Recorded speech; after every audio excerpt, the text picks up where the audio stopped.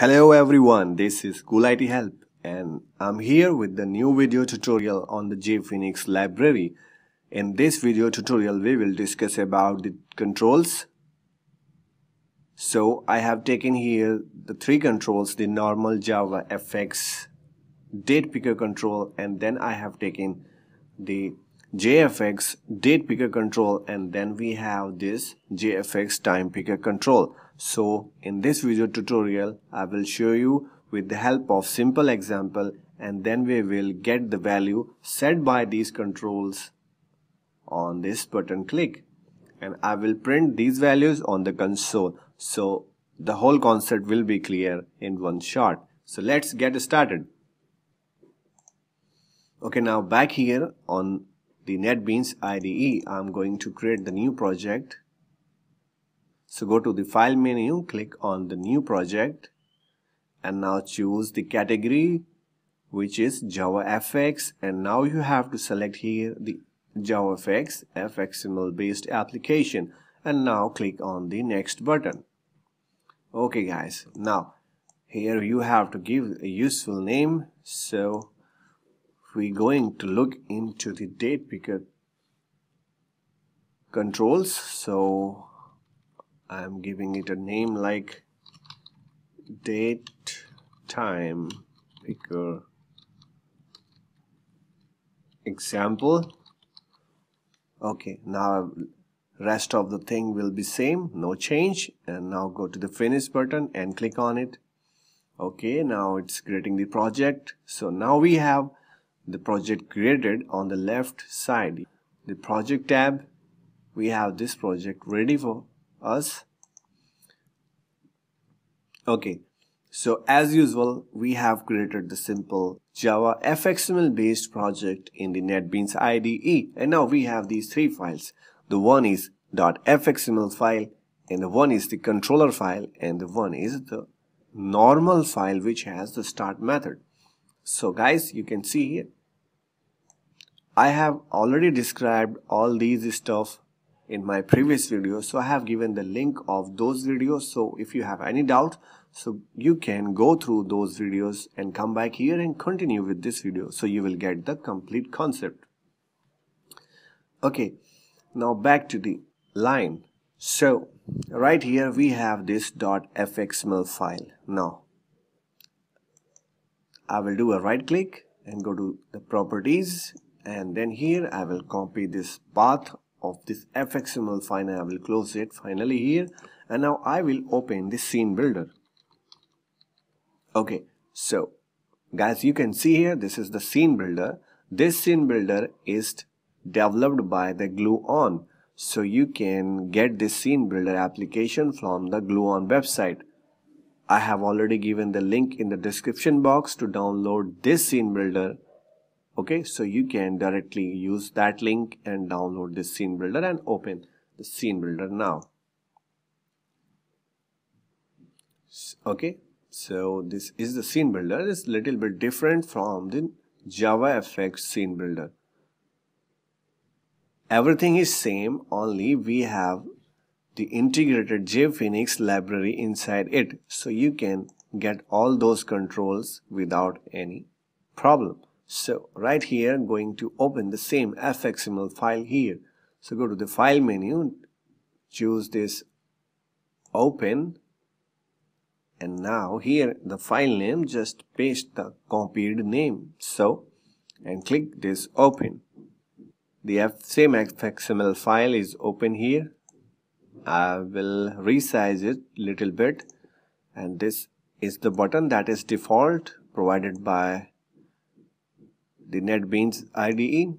So right now what we have, this is the anchor pan, this is the base pan and now we have one button and we have one label. So label is not required here. So I'm going to delete it. Okay, so delete it. That's fine. Now, now I will show you the simple date picker. So once you write here date, so you will get these two results so first one I will select I will drag it and drop it here. Okay now now I will choose this one. This is the JFoenix class. This is jfx date picker. So I will drag it here as well and drop here. So now we have two controls the simple javafx based date picker and we have enhanced date picker class okay? This is the enhanced date picker control provided by the JFoenix library. Okay guys. Now we have one more thing. So what is that? This is jfx time picker control. So I will drag it here and I will drop it here.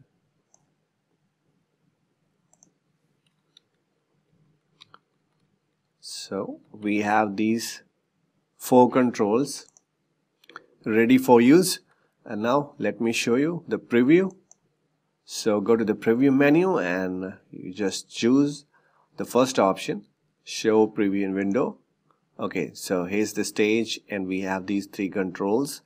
And uh, these are active so you just click on it and you will see this uh, calendar pop-up. So you can select any of the date and if you want to change the month you can change the month from here. Okay so I have selected this 22 to 2018 okay in the same way we have this JFoenix based date picker control. So just click on it. Okay guys you can see here this is awesome look and feel and this is a colored and uh, this is different from the previous control. Also it has a different kind of selection of date. So you can just use this arrow for the selection of month okay? And this the back arrow so you can go back to the month. So unlike you have to change the year so you can just click on this place okay? So it will give you the list of the years. So we have 2099 and 2100 okay? So we have a list of the years so we can select any of the year. From here i'm going to select it 2002 and now this is sunday and i'm selecting the date 15 15 1 2002 so in such a way you can select it. So this was the UI of this calendar control okay the date picker control. That's fine. Now now come back on the third one. This is the time picker control. Somewhere you have a need to put the time. In some cases you have a requirement to do to give a timer control, time control, then you can use the JFX time picker control. So now click on here. So you will see this uh, clock and uh, we have a selection like if you want to select the time at 11 so you can click on this 11 and uh, if you want to select the minutes so you have just click on this place okay? So now it will show the minute clock. So like I would like to set the 1140 so I will click here. So it is now 1140 and now once uh, you want to select 1142 so you just click on this circle and just uh, use the mouse and place it little bit above this uh, exactly 40 so this white small white dot will be placed. So it will set the 1141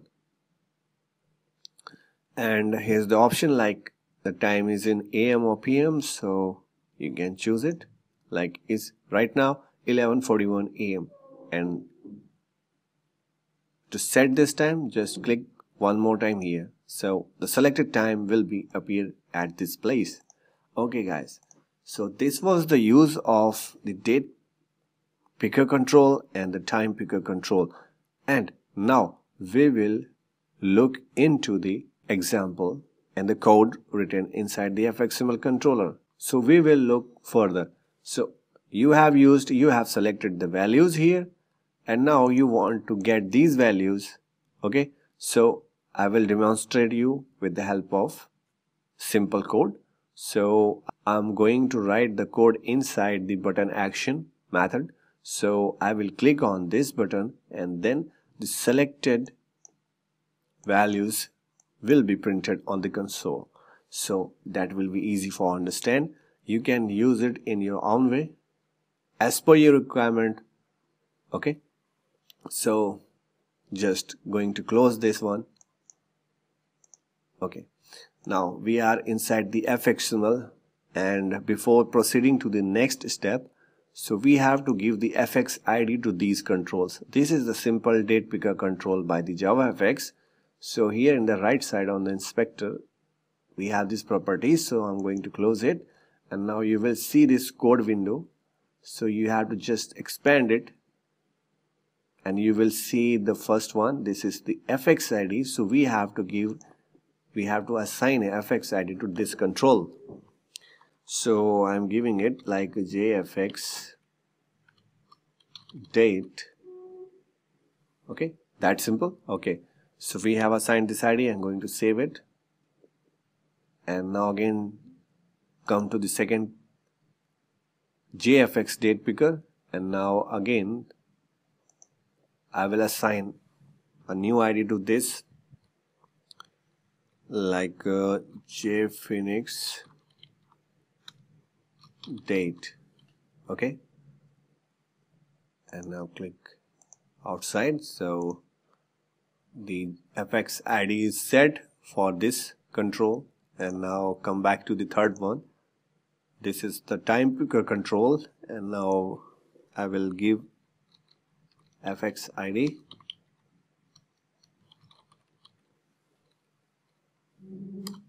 okay so I have given the JFoenix time so we have assigned the fx id to the first one, second and third. Okay. So now save this and now just minimize it and go back to the NetBeans IDE and now open this fxml. Right here you can see that we have added the date picker and then we added the JFX date picker. And then we have added JFX time picker control. And you can see the FX ID is set. Okay? So I think this is clear to you. Okay. So now go back to the fxml document controller.java where we will do the code on the button click action. Okay so where is the button so right here you can see this is the handle button action and we have this annotation added fxml okay so this method is called when we click on the button. So uh, once we click on this button, this method will be called. Okay, so this is set inside the fxml here. Okay, so delete the rest of the code and so now in the next step watch it carefully. So we need all those controls reference here. So I will do the annotation like here fxml and create the reference variable for that so first one is the date picker. So here's the date picker and we need the fx id of the date picker for taking the reference of the same object. So I have created here. And now again I will create the new one for the JFoenix date picker. So it's private JFX okay guys just wait it. Go back to the fxml and copy this jfx picker class name and paste it here. And now use this fx id the same fx id we need to paste it here. Okay so we have created the object reference for the JFX date picker. Now we will create the JFX time picker. Reference private. And now go back to the fxml copy the class name paste it here. And now we need the fx id for the same. So I'm taking this fx id for this time picker control and paste it here. Okay guys. Uh, as you can see here so jfx date picker and the jfx time picker class is not available right now. So what we have to do we have to add the JFoenix.jar in the class path. So do a right click on the project and go to the properties.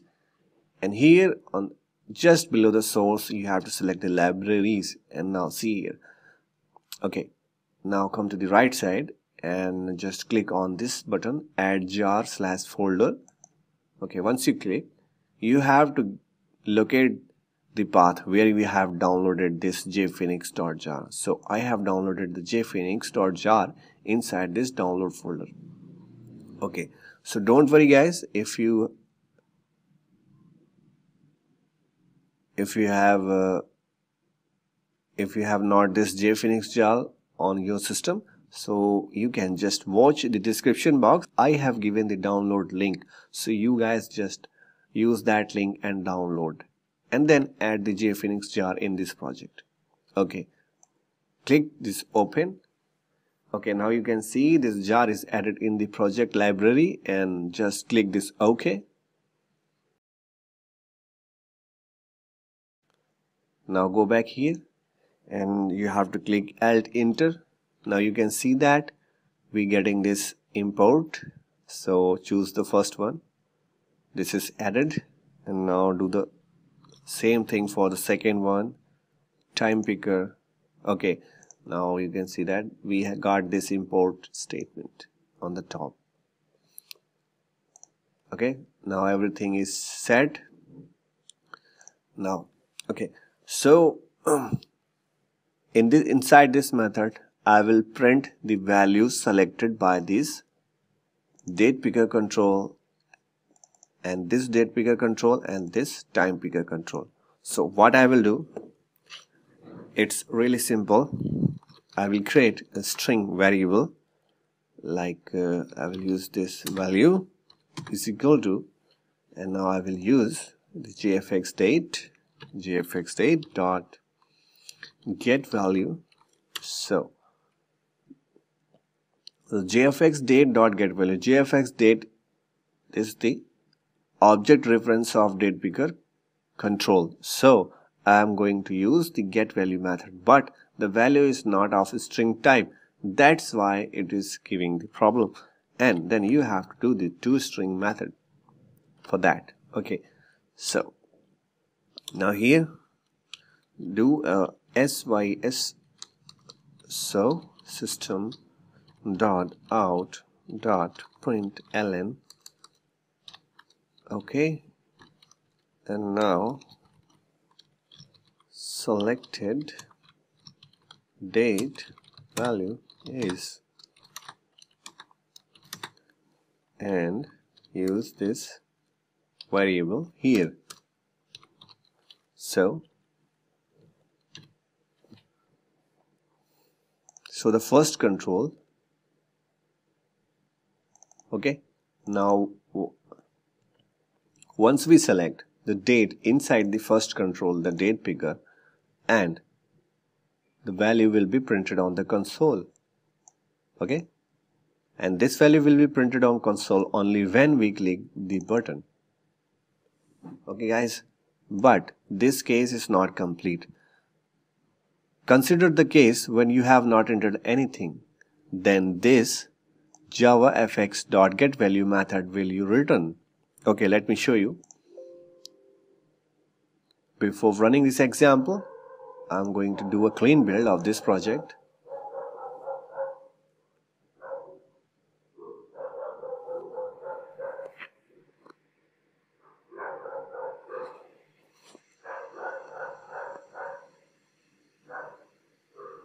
okay it is ready and go to this file and do a right click and choose the run file.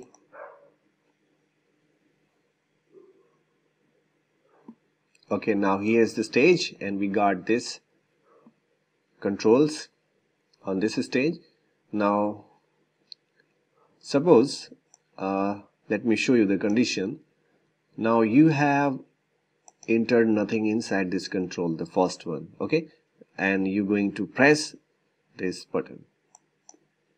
Once you click on it you will get this exception. As you can see here this is a null pointer exception because we have not entered anything inside the date picker control and here. Okay now now ch choose this control. Click here and you will see this pop-up and select any date. And now then click here you can see in the console. The selected date value is here so it's working.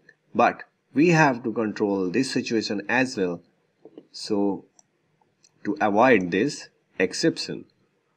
Okay close the example. And now go back here in the fxml document controller. So we have to do a null check. So how we will do that? Okay watch it. So I'm going to do a check condition. So if java jfx dot get value is returning null then we will simply return a blank value. I will simply return a blank string. So what we I will do here I will do a check. Jfx dot get value not equal to null okay?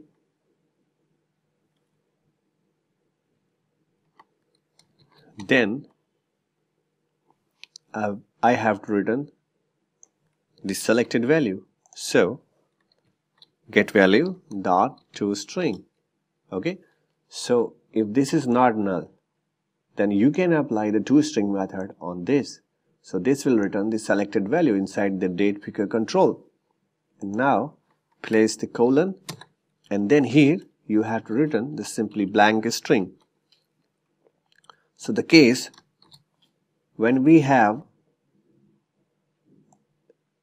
null okay and this condition is true then we will return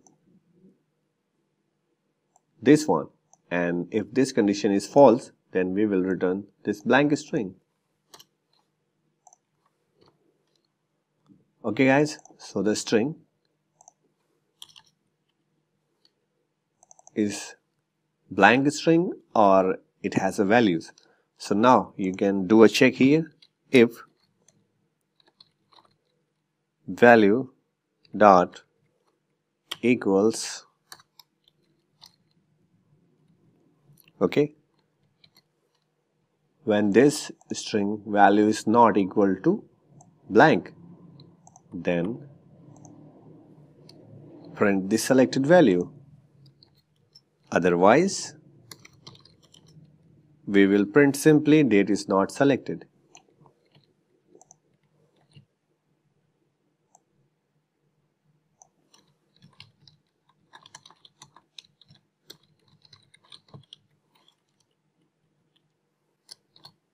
Okay guys, I think this is clear to you. So we have used only this date picker control object okay the reference object and on the basis of that we have write written this code. So save the file and go to the run and do a clean build of this project. So it is ready to run and now go back here in this file and do a right click and run okay now we got this stage and we can do a check. I'm going to click on this without entering anything inside this control.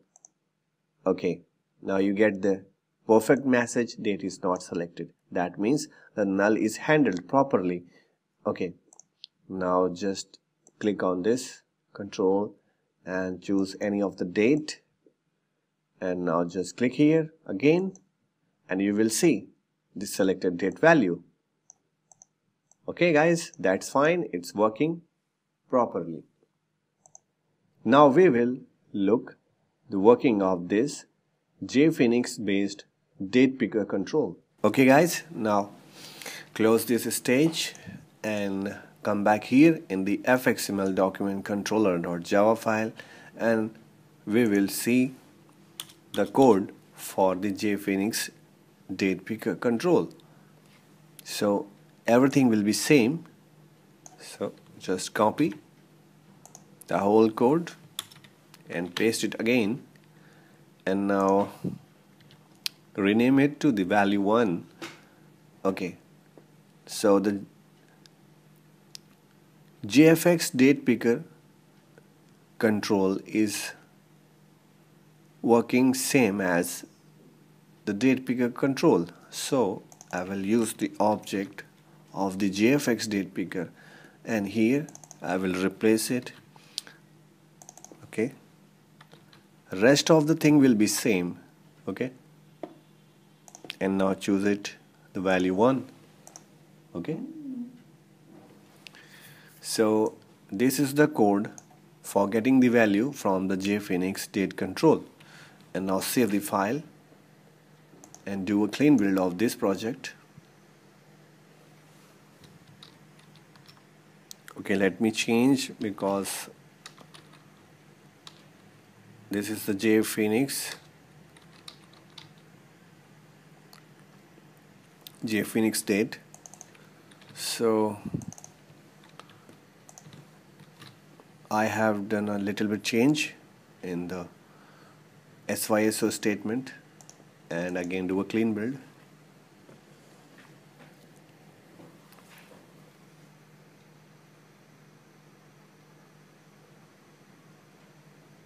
It is ready. And now here jfx time picker example.java on this file.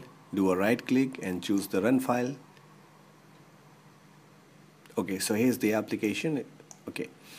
Now now we will do the same test just click on this. Okay you got it. This date is not selected and JFoenix date is also not selected. And now select do a selection one by one. So you can select it here.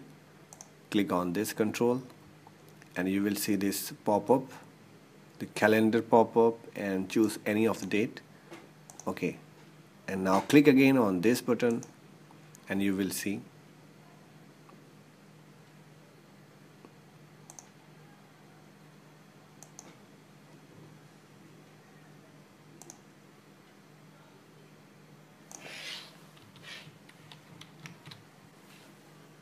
okay we missed.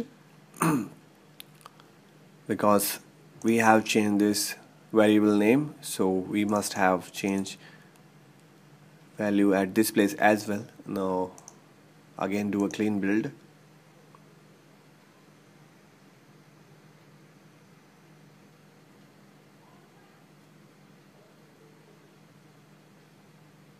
Okay now run this file okay so this is the stage and uh, click here.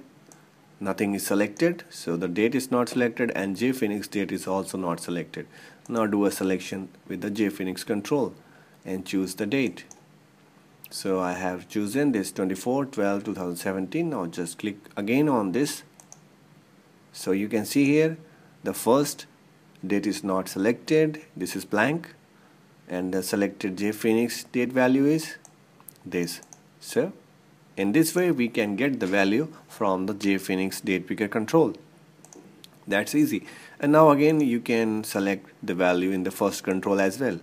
So I have chosen 1912 2017 and now again click on this. You can see the selected date is printed successfully on the console. Okay, so this was the working of these two control. Now let's see on this time picker control. Okay close this stage and come back here in the fxml document controller.java file. And now come here. So this is going to be the same. So I'm going to copy these statements and paste it here. And now rename this value 2 and do a little bit change value 2 at this place as well and we need this reference object from this JFX date time picker. So I will use ref this reference object here. Okay. And the rest of the things will be same because all these classes works in the similar way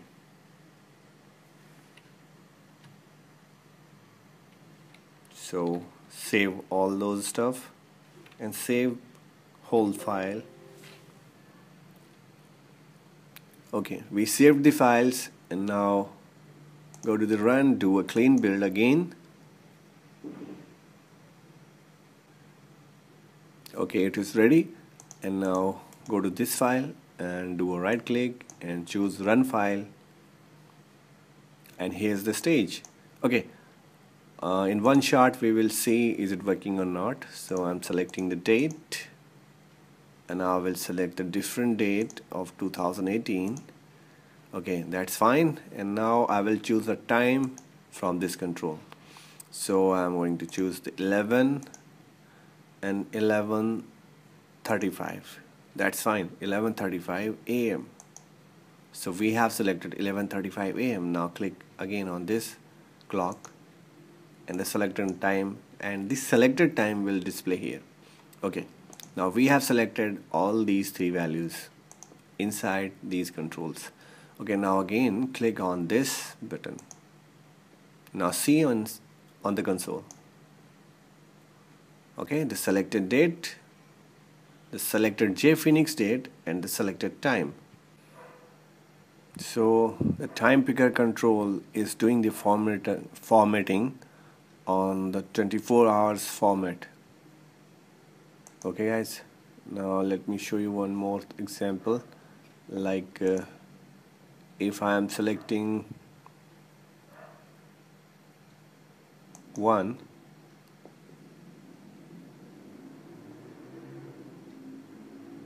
and then I am selecting 130 130 p.m. okay and now click back on this clock. Okay not exactly. Now it is 1:30 p.m. okay click back. Here on this clock. And now just click on this button. And watch it here. The JFoenix selected time value is 1330 okay so this is mentioning that 1:30 p.m. so the date time picker is converting this time into 24 hours format. Okay guys I think this is clear for you. As this was the controls used in JavaFX for the date time so if you have any doubt about these so please comment below and I will try to reply as soon as possible. That's all guys. I hope you enjoyed this video. So please like and subscribe my channel and press the notification bell icon for new video updates. Thanks for watching